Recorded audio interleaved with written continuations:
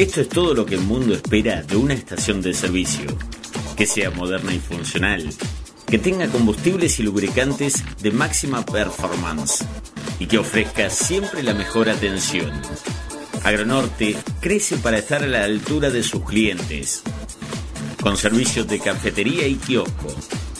Estación de Servicio Agronorte, Humberto Primo y Belgrano, en Puan.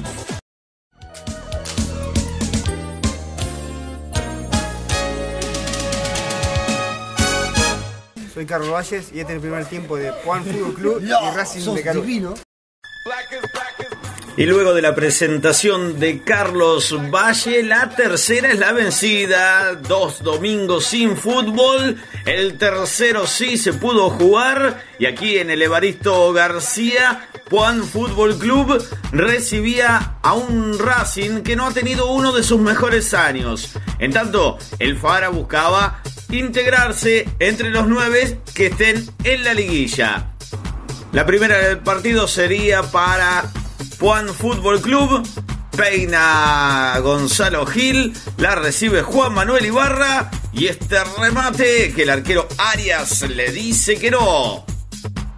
La réplica de Racing con este remate desde lejos de Echaide, que sería también decisivo en el partido, pero muy bien atajando Martín Ibarra para negarle la apertura del marcador a la gente de la estrellita. Vamos, vamos, dice Martín, sacando a su equipo que necesitaba sí o sí tener los tres puntos en esta fecha. Tiro largo para Juan Manuel Ibarra.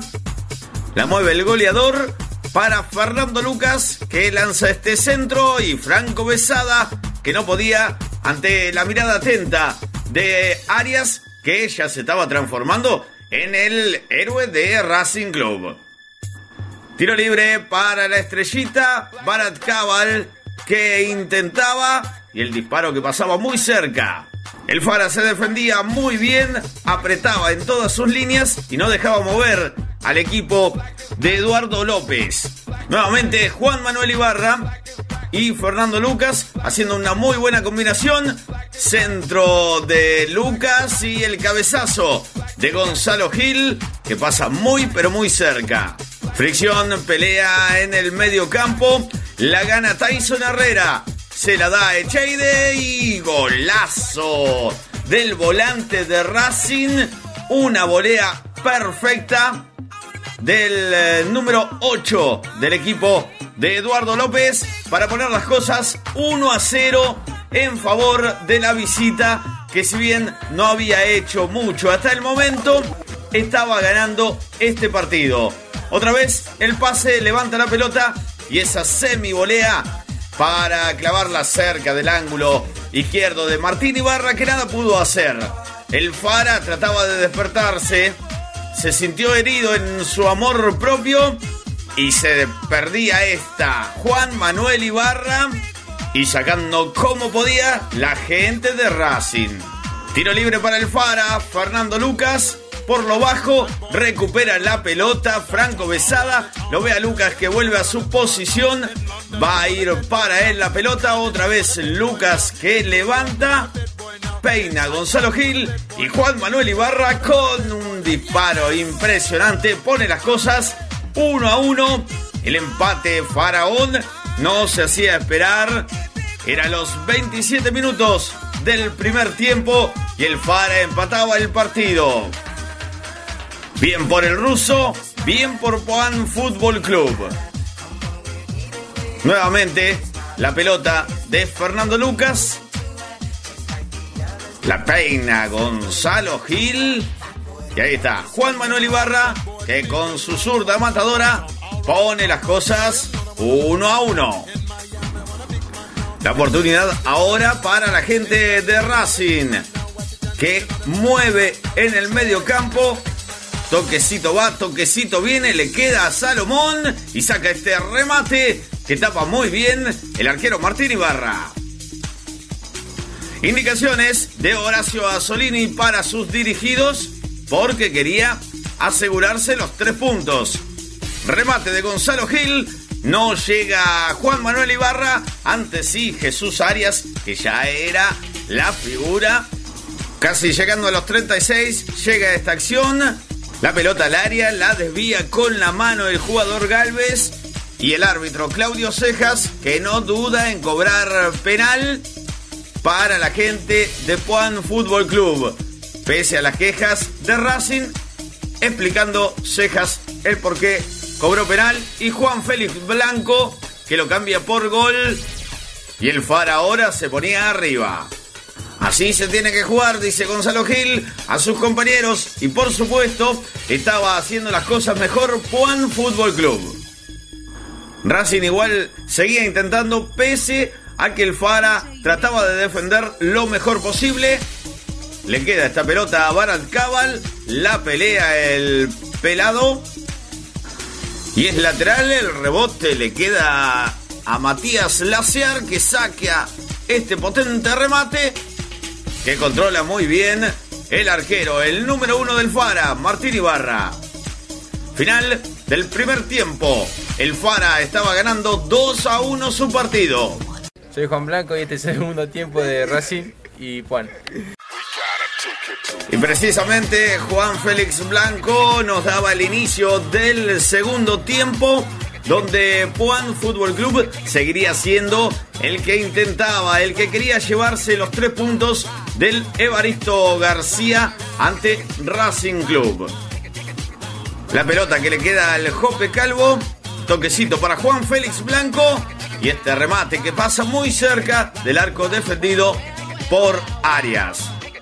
Fernando Lucas con otro centro para buscarlo a Gonzalo Gil, el despeje de la gente de Racing. Y nuevamente recuperando la pelota el faraón con otro pelotazo, esta vez para Juan Manuel Ibarra, que encara y no puede con el arquero Arias, que es el único encargado de que Racing no esté perdiendo por más. Trata de salir Racing, trata de jugar, pero el Fara sigue presionando, sigue buscando. Ahora Juan Manuel Ibarra saca esa pelota. Franco Besada y este centro que termina en el techo del arco. Casi, casi, casi la tuvo Juan Fútbol Club. Otra vez Fernando Lucas ganando por su sector. El pase atrás trata de salir Racing, no lo hace de la mejor manera porque seguía teniendo la presión del equipo de Horacio Asolini que buscaba sellar este partido. Juan Manuel Ibarra, una más del delantero, muy, muy, muy cerquita, besando el palo se fue ese remate. Se lamenta el ruso goleador que ya tiene 291 goles en la liga. Lo mejor de Racing fue esta acción que comienza para el Cabal y termina rebotando en la mano de Cristian Dini. Y el árbitro Cejas que cobra nuevamente penal y la amarilla para el defensor Faraón. Héctor Tyson Herrera sería el encargado de ejecutarlo al otro palo de Martín Ibarra y el gol del empate para la gente de Racing. Gonzalo Gil va a recibir la pelota. Terrible falta al delantero Faraón. Cejas que cobra, pese a las quejas de la gente de Racing que decía que el goleador eh, del Fara estaba agarrando. Nuevamente vemos la acción. Sí, fue falta. Centro de Fernando Lucas, la cabeza precisamente de Gonzalo Gil y el 3 a 2 de Juan Fútbol Club. Así lo festeja, se lo dedica por supuesto a Fernando Lucas. Sí, Fernando, este fue tuyo, ¿eh? Vos me la pusiste justito a la cabeza para que yo hiciera el gol. Ahí está la repetición, la cabeza de Gil arriba para ganar y poner las cosas 3 a 2 en favor de Juan Fútbol Club. Luego quedaría tendido en una jugada un tanto extraña, queda golpeado Gonzalo Gil, lo van a ver, se acerca el árbitro Cejas, comienzan las discusiones entre la gente de Juan Fútbol Club y la gente de Racing. Finalmente, más allá de las discusiones, algún que otro empujón, no pasó nada y no hubo tarjetas. El primer cambio en Puan Fútbol Club a la cancha, Romero sale besada, 13 por 7. El cambio de la gente de Puan Fútbol Club, la gente de Horacio Asolini. El mismo cambio para la gente de Racing, 13 por 7 a la cancha. Benjamín Zapata se retiraba Matías Lacear. Otra pelota para el ruso Ibarra. Taquito el centro. Y Gonzalo Gil, que la, se lamenta por esta acción. Otra oportunidad para el Fara. El Jope Calvo. Con este centro para Juan Manuel Ibarra que no pudo conectar. Y por eso se salvaba Racing. La mejor de Racing fue esta. Toquecito, ahí va Barat Cabal. Se la devuelve Barat Cabal a Matías Mendoza, que por poquito, por poquito, no pone el empate en el partido. De todas maneras, Juan Fútbol Club era mucho más que su rival y si bien no pudo concretar todas las oportunidades que tuvo, como esta que se pierde el hueso Gil, que se queda lamentándose, si bien no pudo concretar todas las posibilidades de que dispuso el equipo de Asolini, terminó ganando este partido. Así lo marca el árbitro Claudio Cejas. Final, final del partido, victoria de Puan Fútbol Club. Juan Manuel, ganaron un partido que se les complicó por momentos, o me pareció a mí. Sí, sí, no estamos jugando bien. Lo complicamos nosotros, en la realidad, lo que nos viene pasando últimamente, así que bueno, sufriendo para ganar estos partidos, así que bueno, no sé. Faltó la, la puntada final en algunas jugadas. Sí, sí. La culpa siempre de nosotros, del delantero que lo derramos. Es así. Hueso, ¿cómo lo festejaste, eh? Al tercero. Se, se, les está complicando, es como que le falta esa puntadita final. Sí, estamos luchando, estamos muy irregulares y, y nos cuesta, como vos decís, nos cuesta, llegamos al gol y siempre pasa algo. Pero bueno, estamos metiendo mucho sacrificio, mucha ganas. Por eso, por ahí a veces cuando se nos da un poquito de suerte, uno, un gol es desahogarse y bueno, por suerte pudimos remontarlo y, sacar el triunfo. Lo que te voy a preguntar, ¿eso fue falta? La, la, que te hicieron de que después termina haciendo el tiro libre. Sí, sí, fútbol, sí, sí, porque me, me, engancha justo en los dos pies, yo voy retrocediendo y si bien es fricción, pero es fútbol. Claro. Eh, y ahora, ¿cómo ven eh, el próximo partido? Que es el más difícil, porque bueno, ahora eh, faltan ver los resultados, ¿no? Pero estarían todos con 35, están ahí, con un empate lograrían eh, estar en la liguilla, pero es Deportivo Sarmiento. Sí, seguro, es difícil. Nosotros, por más que sea Sarmiento, que sea que sea, si no hace difícil todo, no estamos, somos conscientes que no estamos en nuestro mejor nivel.